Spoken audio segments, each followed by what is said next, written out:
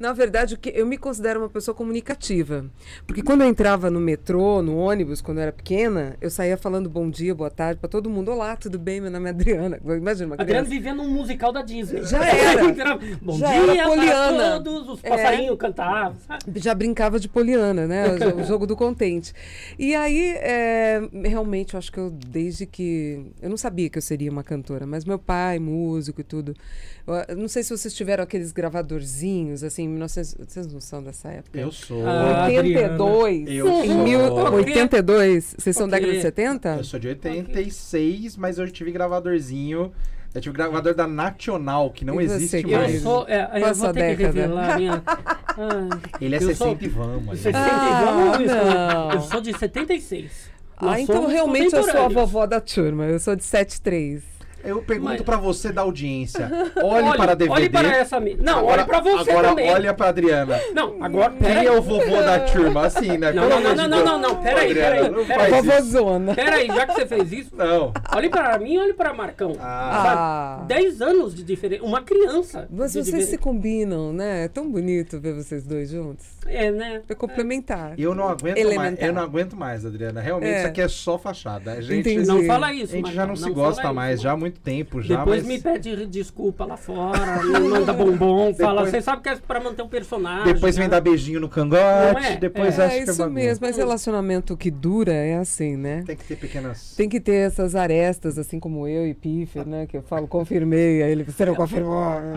Eu ganhei aquele gravadorzinho e eu ouvia a minha voz, eu não achava legal, achava aquilo meio estranho. Hoje em dia, todo mundo tem acesso a uma câmera, tem acesso a, a, a um karaokê, né? Hoje em dia nós temos muitas cantoras de- cantores de karaokê que não foram na noite cantar, pedir uma canja, uma oportunidade. Não, tá cheio de cantor de YouTube que nunca saiu de casa. Sim, o tá- karaokê, é? Sim. né, em casa. E é diferente dessa experiência do sensorial, de você, das coisas valvuladas, de você ficar. É um nu. Né? Porque a tecnologia ela te traz um monte de vestimentas, né? É o MC De- Naldo tá aí pra isso. né? Ah, por quê? Ele canta, amigo. Ah, o que tem de, de Pro Tools ali, até eu Ele cantava. Alto em cima, canta. alto em cima. Oh, não, ele canta. Nós estivemos juntos na Festa Nacional da Música, eu não posso falar isso dele. A gente fez umas homenagens, cantamos juntos. Ele, ele arrebentou. Esse programa, esse programa ama MC Naldo, Ah. principalmente a música que ele fez com o Mano Brown, Benny Brown, que é, É. assim, uma das piores músicas que eu já vi na minha vida. Sério? E eu não, e- mas assim, o texto não é ruim. Canta, deixa eu ver. Não, não vou cantar claramente, porque eu não tenho essa Declame, habilidade. Reclame. Declama. Não, mas é- fez a letra, que eu não sei. O, É, mi, fá, o refrão é. Benny Brown, Benny Brown, e, e eles falam assim, não, é. Falam do varejão, falam do Leandrinho. A letra não faz o menor sentido. Certo, é bem a nossa vida louca. Você entendeu? Aham. Mas É eu, vida louca. eu gosto muito da junção dos dois. Hora que eu vi, Entendi. assim, eu falei, Naldo e Mano Brown? Como é que é aquele negócio que eu Eu, no adoro? mínimo, fiquei do mexido. bom dia. Como é que é que eu postei outro dia? Bom dia. Como é que é? Não, fala. Bom dia, vamos acordar, vamos É, acordar. vamos acordar. Bom dia, bom dia, vamos eu, acordar. Eu quero colocar aqui no meu celular. Bom dia, vamos acordar. Vamos você acordar, pediu, irmão, você acordar. pediu. Ó, o sol, o céu azul, bem louco. Eu adoro aquilo, eu adoro, adoro. É maravilhoso. Eu acho maravilhoso. sensacional. Eu acho que tem espaço para todo mundo. O problema, o problema está que quando as gravadoras caíram com o advento da pirataria, etc, etc, as gravadoras não estavam preparadas para isso. Isso, isso, quando eu lancei meu primeiro disco, eu tinha, eh, 1995, tinha fita cassete pirata nas feiras, né? A gente via as fita, E eu cheguei a ser eh, LP. Eu não sabia nem que existia a fita original. Na época que eu era Ah, criança, sabe, já pra mim o pegava- normal era é aquela tipo, da feira. a fita da feira. Nunca, jamais ir numa loja comprar um Exato. disco, né? Cara, e sabe eu, o que que a gente fazia quando eu era criança? Eu ia na loja de disco e pedia uma seleção musical. Falava, faz uma seleção de. de... Não Nossa. era rock anos 80, porque era rock nos anos 80. Então, É, olha era que só rock, legal. sabe? Era só rock, né? sim, sim, mas era E aí tudo o rock. cara. É, mas era o quê? Era Ele fazia uma fita pirataria. pra você? Era pirataria. Era uma pirataria. Era pirataria E outra época. coisa, pra você ter aquele disco que o cara lançou lá na Inglaterra, vamos falar de Ah, rock sim. e tal, Aham. não chegava aqui, e essas pessoas que tinham acesso a Beatles, você fala, cara, mas como é que você tem tudo isso? Era só os ricos, né? Que viajava e trazia o som, a mesa de som, um instrumento top. Então hoje está tudo muito acessível. E existe muita maquiagem em todos os âmbitos, seja na afinação, seja na beleza, seja na base das coisas. Mas a gente trabalha com uma sonoridade, embora, embora tenhamos colegas que apresentem trabalhos todos remixados, masterizados, reafinados, né? Nós trabalhamos com a verdade, que não tem jeito. O samba, ele é ali, né? não é, Diego? Então, se o cara. E, e- e eu lembro muito disso, que o meu pai falava: para cantar samba tem que ter ritmo. E a primeira coisa que fizeram comigo quando eu fui fazer o teste para Sony Music foi gravar o Bêbado Equilibrista em ritmo de samba enredo, para ver se eu tinha ritmo. Porque eles estavam buscando uma cantora. Caraca. Então, hoje em dia, não. Cê- seu pai tem grana, alguém tem grana, você investe, você vira a cantora de samba, ou você vira a cantora de, de funk, você vira a cantora que você quiser. Tá tudo certo. Quem, quem Mas o percebe- problema é tudo ficar funilado só nisso, nas possibilidades financeiras. E o público jovem, é triste o que eu vou dizer, ele não está interessado em conhecer a gente.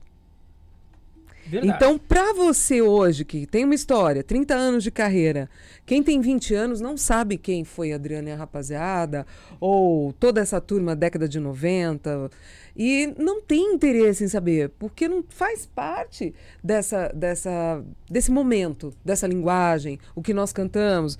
Nós cantamos o amor, nós cantamos outras Ah, referências. como eu gosto, viu? O jovem tem que acabar, né? Isso já foi, gente sabe. não, não É. tem. Beleza, agora foi. Tudo bem. Não, mas assim, só para entender, só para Uhum. concluir esse raciocínio. Então, se o artista ele não fizer featurings com os artistas atuais, ele não vai conseguir ficar conhecido para essa nova geração. O problema é cantar com quem não nos representa. Sim. Que é isso que você está falando. Não é? É uma questão de gosto? Tudo bem. Mas esse texto, esse discurso, essa postura me representa? Eu venho de uma geração de mulheres que, para entrar no samba, meu, precisava ter um requisito aí.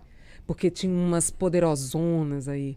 Então é postura, é a roupa, é o que você fala, é o discurso, é o que você grava. Se você procurar na minha discografia inteira, você não vai ver eu falando pornografia, você não vai ver eu falando. É, é um outro discurso. Parece que a gente tá careta, parece que a gente é careta. Será que a gente tá errado? Qual é a postura que a mulher tem que ter? Principalmente no samba. Agora que tá todo mundo falando de son- sororidade, né? Eu sou ligada na sonoridade, mas a sororidade. ok, mas será que eu me. Essa pessoa me representa? Cara, jamais. Foi a primeira coisa que meu pai me ensinou. Não seja vulgar. Você quer ser conhecida pelo quê? Pela sua voz ou por outro atributo? Onde eu chego, eu sou reconhecida pela voz, eu, eu dou graças a Deus. Porque eu poderia ser conhecida por outro pedaço. Mas. Ah, Adriana, você tem atributos assim que, que, olha, reconhecimento não lhe faltaria também. Querido, mas eu achei melhor Olha eu escolher esse caminho, né? Excelente. Olha o DVD Não, apanhando não é hoje fácil. em casa, hein? Na época do Adriano e a Rapaziada, eu tive proposta de posar. Tive proposta de ir para uma casa dos artistas. Tive umas propostas assim que, que quando eu deixei a Adriana Ribeiro para me tornar Adriana a Rapaziada, o que, que aconteceu? Eu deixei de ser uma cantora de samba com mais prestígio, porque gravou com Martinho da Vila, Demônios da Garoa, Rafael Rabelo e tudo mais, para ser um produto muito mais comercial, muito mais acessível, muito mais conhecido.